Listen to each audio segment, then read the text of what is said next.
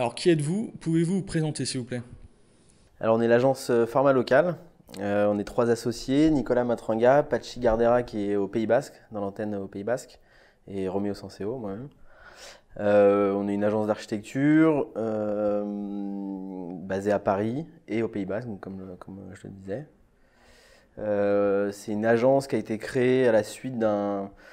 À, la, base, on avait un collectif qui s'appelait l'Atelier Lada. On était 6 ou 7 dans des bureaux à Bagnolet. on a commencé à bosser un peu tous ensemble à la fin de nos études, enfin même pendant la fin de nos études. Euh, donc on a partagé ces locaux et euh, très rapidement on s'est mis tous les trois, Pachi, Nico et, moi, euh, à créer la boîte format local pour répondre à des projets un peu plus d'envergure, sur des marchés publics, des choses comme ça. Oui, c'est après ça. On était donc 6 ou 7 indépendants, un groupement d'indépendants. Euh, et euh, on a fini par se, structurer en, société avec euh, donc, trois, personnes qui voulaient continuer à faire de l'architecture.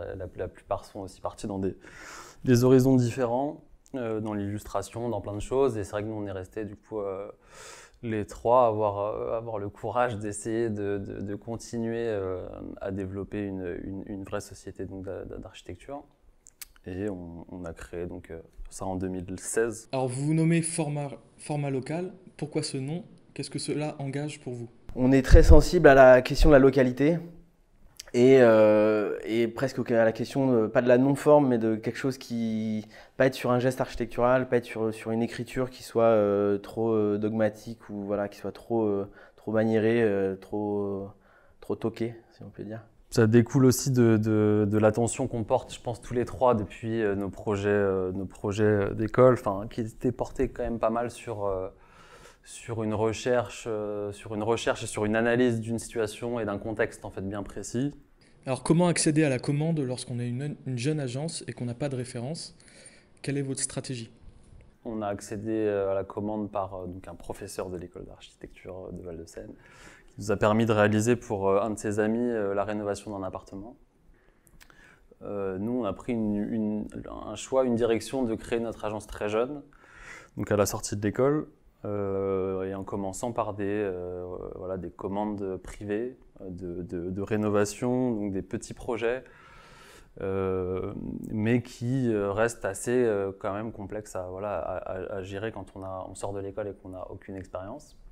Après, euh, c'est sûr qu'économiquement, très vite aussi, on a eu ce, principe de ce, système de co-traitance avec Patrick Arrocharen, euh, qui est une, c'est une chance pour nous. C'est quelque chose qui nous a mis le, pied à l'étrier sur une échelle de projet euh, importante.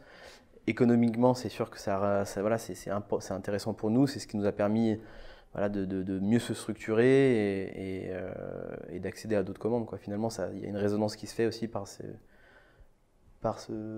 biais-là. Quoi. Il y a un truc un peu tête brûlée, de, prendre des risques. Euh, au début, c'était un peu naïf, un peu euh, sans, sans, le vouloir, mais on se rend compte que on est tout le temps dans la prise de risque. C'est ce qui fait qu'on avance euh, après pas à pas et que c'est très long, c'est laborieux, mais ça, c'est une sorte d'une forme de liberté qu'on a cherché et qu'on a voulu, qu'on assume clairement. Quoi. On n'avait pas envie d'aller gratter dans une agence et, on préférait se, confronter à refaire les choses, à perdre du temps, à essayer de comprendre ce qu'on nous dit, mais le faire pour, plus ou moins pour nous. Quoi. Donc euh, c'est un, un, choix. Alors vous êtes implanté à Paris et sur la côte basque. Comment jongler entre ces deux territoires et que vous apporte cette double casquette?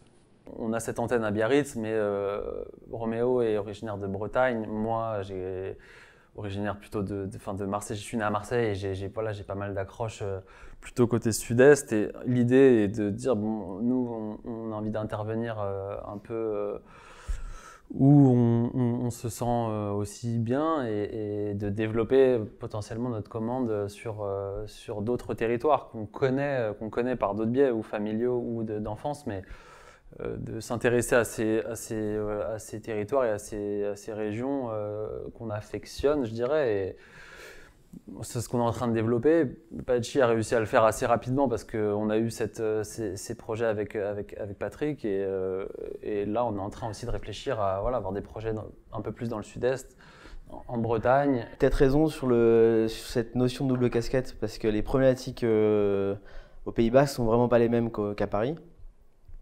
Mais du coup, on se rend compte que notre manière de répondre aux problématiques au Pays Basque peut avoir euh, une attitude urbaine et inversement. C'est-à-dire qu'en Ile-de-France, on peut aussi euh, trouver une, une orientation qui, est plus, euh, qui est plus liée à des habitudes qu'on peut avoir dans le travail au, Pays Basque, sur la, manière de, répondre à un projet. C'est-à-dire que voilà, c'est deux manières de faire et en fait les, les, deux, les deux se complètent quoi, finalement.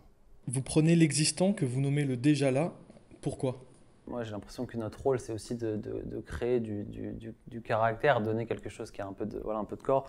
Quand on part d'une situation existante, qui a une histoire, qui a, vécu des choses, qui a des, choses à raconter, de, venir se mêler à ce truc-là et d'essayer de, le faire évoluer et de, se greffer à, ces choses existantes et de les faire ressortir, de les mettre en avant, j'ai enfin, l'impression que c'est ce qui nous nous intéresse quand même pas mal et euh, c'est en tout cas les projets où on, où euh, on se fait le plus plaisir. Et, c'est vrai que quand il y a des voilà des, quand il y a une, toute une, une, dimension de, restauration même de, de patrimoine ça, ça c'est là où on prend du plaisir à faire de, de l'architecture. Enfin vous ouvrez depuis 2019 votre agence à des discussions pour enrichir votre pratique quelle place accordez-vous à la vulgarisation en architecture? Ce, Cette idée des rencontres, euh, déjà le lieu de travail, enfin, je vais commencer par parler du lieu de travail, c'est-à-dire qu'on a toujours cherché à s'inscrire dans un lieu de travail euh, qui ne soit pas qu'un lieu de travail. Enfin, c'est un peu bateau de dire ça, mais euh, à chaque fois c'était des lieux qui avaient une histoire, où on pouvait accueillir des gens, où on a toujours eu cette envie de de, de, de, créer une espèce d'énergie où il y ait autre chose que euh, être derrière son ordi et puis à, à 20h, à la fin de ta journée, tu, tu rentres chez toi, etc.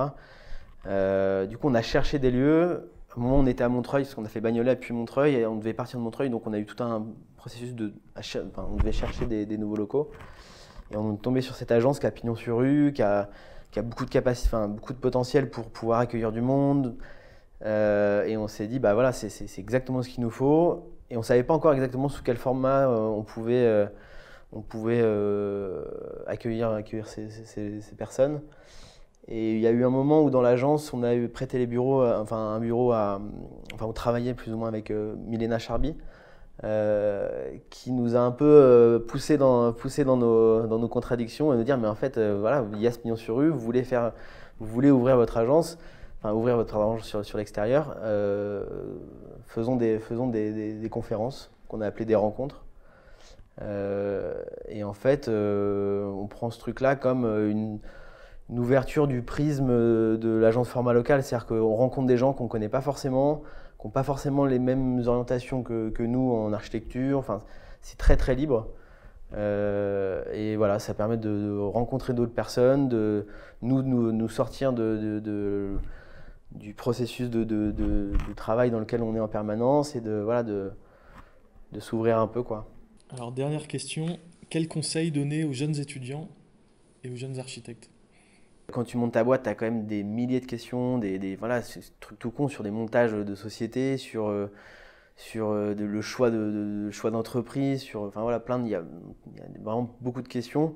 Et, euh, et, je pense que si on arrivait à créer quelque chose qui permette de, casser un peu ce, code d'archi qui ne donne pas forcément les tuyaux, euh, ça serait pas mal. Quoi.